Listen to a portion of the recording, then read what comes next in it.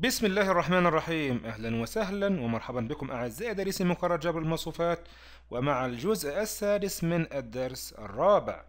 تعلمنا فيما مضى على كيفية إيجاد معكوس المصفوفة والآن نتعلم طريقة حل نظام خطي باستخدام معكوس المصفوفة ومعنا نظرية تقول if A is an invertible matrix لو أن A مصفوفة لها معكوس فإن النظام الخطي الذي A له هي مصفوفة معاملات AX equal B.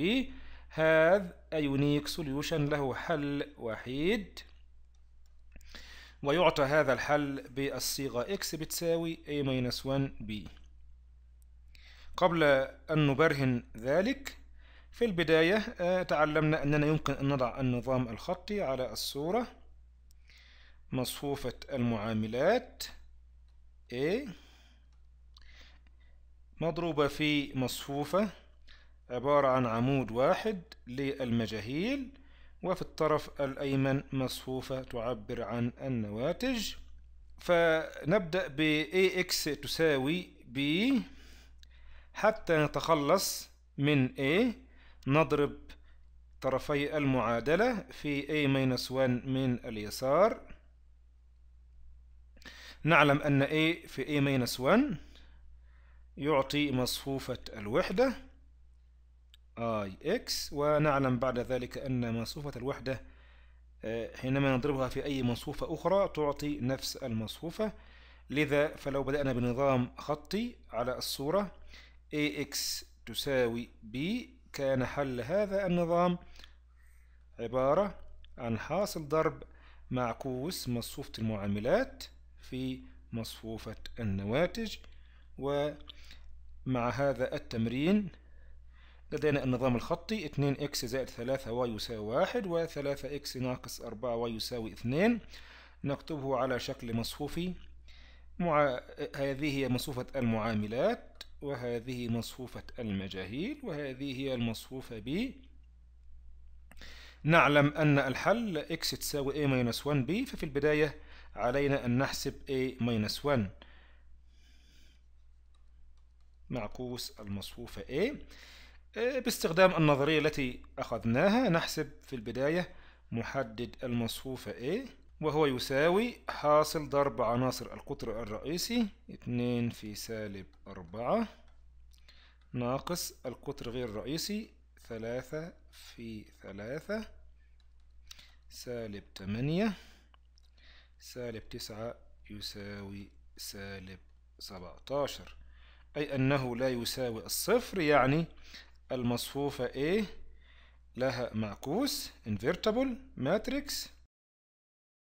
كيف نحصل عليه؟ باستخدام النظرية A-1 يساوي واحد على سالب 17 ثم نبدل عناصر القطر الرئيسي سالب أربعة واثنين. وعناصر القطر غير الرئيسي فقط نغير إشارتها.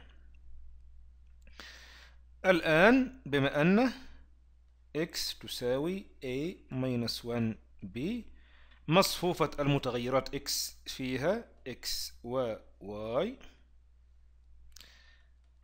المصفوفة a minus 1 حصلنا عليها سالب واحد على سبعتاشر في سالب أربعة سالب ثلاثة سالب ثلاثة اثنان. في مصفوفة النواتج واحد اثنان. يساوي سالب واحد على سبعتاشر. نضرب الصف الأول في العمود الأول سالب أربعة سالب ستة. الصف الثاني في العمود الأول سالب ثلاثة موجب أربعة. يساوي سالب واحد على سبعتاشر.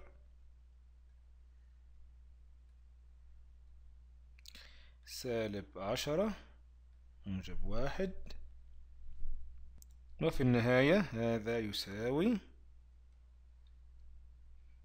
إذا قسمنا على سالب سبعتاشر عشرة على سبعتاشر سالب واحد على سبعتاشر. الآن عندنا هذه المصفوفة تساوي هذه المصفوفة. إذا فالعنصر الأول يساوي العنصر الأول بمعنى أن x تساوي عشرة على سبعتاشر والعنصر الثاني يساوي العنصر الثاني y تساوي سالب واحد على سبعتاشر.